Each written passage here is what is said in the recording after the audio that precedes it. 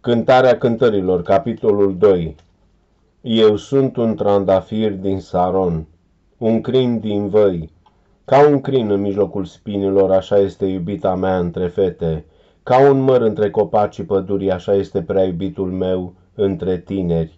Cu așa drag stau la umbra lui și rodul lui este dulce pentru cerul gurii mele. El m-a dus în casa de ospăț și dragostea era steagul fluturat peste mine, întăriți-mă cu turte de struguri, înviorați-mă cu mere, căci sunt bonlavă de dragostea lui.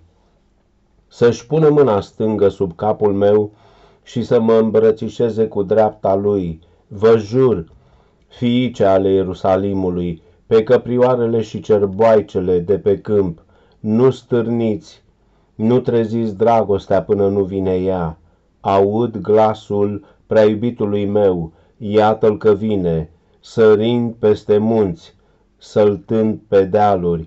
Prea iubitul meu seamănă cu o căprioară sau cu puiul de cerboaică, iată-l că este după zidul nostru. Se uită pe fereastră, privește printre zăbrele. Prea iubitul meu vorbește și îmi zice, scoală-te, iubito, și vino, frumoasă, căci iată că a trecut iarna, a încetat ploaia și s-a dus. Se arată florile pe câmp, a venit vremea cântării și se aude glasul turturelei în câmpiile noastre, se pârguiesc radele în zmochin și viile înflorite își răspândesc mirosul, scoală-te, iubito și vino, frumoasă, porumbiță din crăpăturile stâncii, ascunsă în scobiturile prăpăstiilor, arată în fața ta și fă să-ți aud glasul, căci glasul tău este dulce și fața ta plăcută.